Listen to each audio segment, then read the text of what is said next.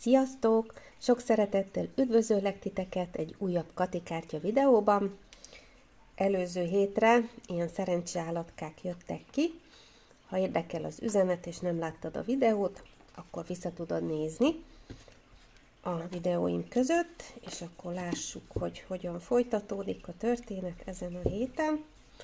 Remélem mindenkinek volt szerencsés pillanata előző héten, meg hétvégén is.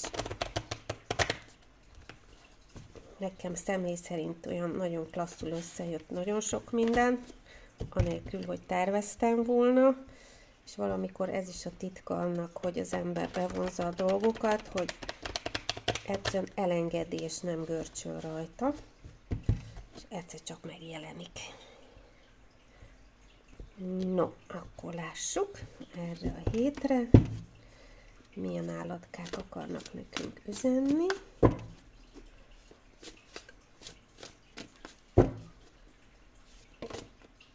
Hú, megvan. Azt a mindenit. Fekete párduc, bocsánat, én már kombinálok, párduc szellem, kapj újra erőre. Hát nekem ez egy ilyen nagyon-nagyon misztikus kép, fekete párduc, ahogy így a sötétből előjön, és világítanak a szemei, ez az ő belső ereje, és akár milyen sötétség is veszi körül, ő ebből így kiemelkedik. Ugye ez egy gyönyörű állat, a fekete párduc, és mivel macska állat, macskák nagyon intuitívak, és itt arról szól ez a történet, a 44-re adásul egy angyalszám, hogy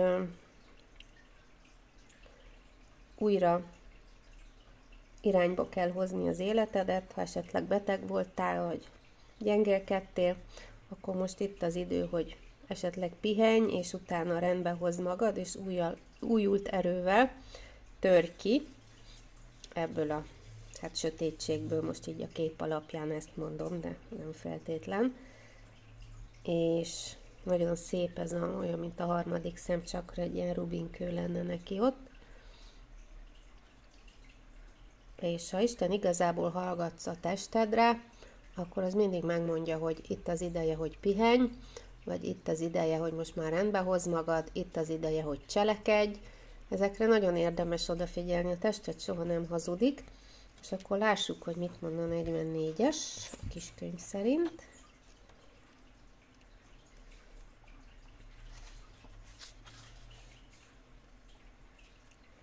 Bátorságra van szükség, hogy szembe tudj nézni a kihívásokkal. A párduc szellem azt mondja, hogy bátrabb vagy, mint hinnéd. Most jött el a kockázatvállalás ideje, és most kell új irányt adni az életednek. Beszélj most úgy, ahogy még soha, és cselekedj úgy, ahogy mindig is szerettél volna, csak nem volt bátorságod hozzá. Szeres bátran és odaadóan, és számíts nyugodtan rá, hogy eláraszt az adrenalin ha az új, bátrabb, merészebb énet kerül előtérbe. A párduc szellem szerint itt az ideje, hogy álmodozást felváltsa a cselekvés, és megted az első bátor lépést afelé, hogy visszaszerezd a párduc szellem erejét. Lehet, hogy az új éned elsőre kicsit furcsa érzés lesz, de megvan benned minden, ami kell hozzá, a lelkednek pedig éppen erre van szüksége. Légy merész. Hát ez az üzenet így nekem az, hogy lép ki a komfortzónádból, és cselekedj egy cél irányába, vagy ha valamit meg szeretnél változtatni az életedben, akkor eljött most az idő, és ugye ez sokszor eléggé nehéz dolog a komfortzónánkból magunkat kizökkenteni, és sokszor inkább benne maradunk valami rosszban, amit már nagyon megszoktunk, és tudunk, hogy mire számítunk, ahelyett, hogy kiugranánk ebből a rossz helyzetből, úgy, hogy kockáztatjuk ugye a régi helyzetet, de ugyanakkor ez, hogy a komfortzónádból kilépsz, ez mindig egy, egy fejlődéssel jár, egy következő szintre lép az életed, és előbb-utóbb ennek az eredménye is meg lesz, akkor is, ha mikor kilépsz ugye ebből a komfortzónából, akkor rosszul fogod magad érezni, meg lehet, hogy nem úgy alakulnak a dolgok, ahogy elsőre számítottál, de ha van elég hited és bátorságod és kitartásod, akkor előbb-utóbb ennek a kitörésnek megjön az eredménye is. No, ez a hét erről szól akkor, hogy merj a új dolgokba belevágni, ha már valamit nagyon régóta dédelgetsz és halogatsz, nem mered megcsinálni, akkor most eljött az idő, hogy megtedd, mert az univerzum támogat téged. És ugye a párduc nem egy olyan hatalmas állat, mégis egy nagyon nagy erő van benne.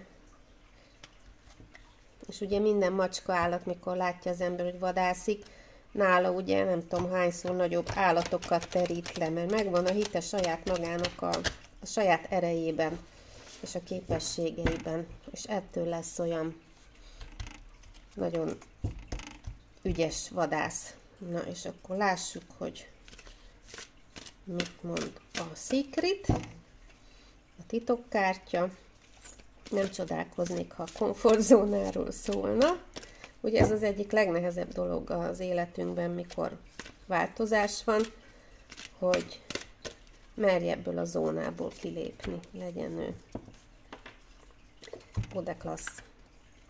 Legyen ez a valaha volt legjobb napod. Ez egy kérdés, hogy megfogalmaztad már magadban a mai napra vonatkozó szándékodat, vagy hagyod, hogy a tegnapi gondolatok irányítsák ezt is. A következő szavak segítenek az elkezdésben. Ma minden jó eljön hozzám, ma minden vágyam teljesül, ma mindenhová varázslat és csoda fog követni. Ezt így ide teszem, meg tudjátok állítani a videót, és föl szoktam ezeket írni, ezek ilyen mantrák, és tényleg csodákat tudnak tenni, és elég jól összefügg ezzel a párduc szellemmel, hogy a tegnapi gondolatok irányítanak-e, vagy a mai napra vonatkozó szándékodat megfogalmaztad, és teszel is érte, vagy egyszerűen a régi programot veszed elő, a régi lemezt teszed föl, és ugyanazt a zenét játszod, vagy mersz valami újat föltenni, és bízni abban, hogy ma minden jó eljön hozzám, ma minden vágyam teljesül, és ma mindenhová varázslat és csoda fog követni. Ezt küldöm nektek erre a hétre.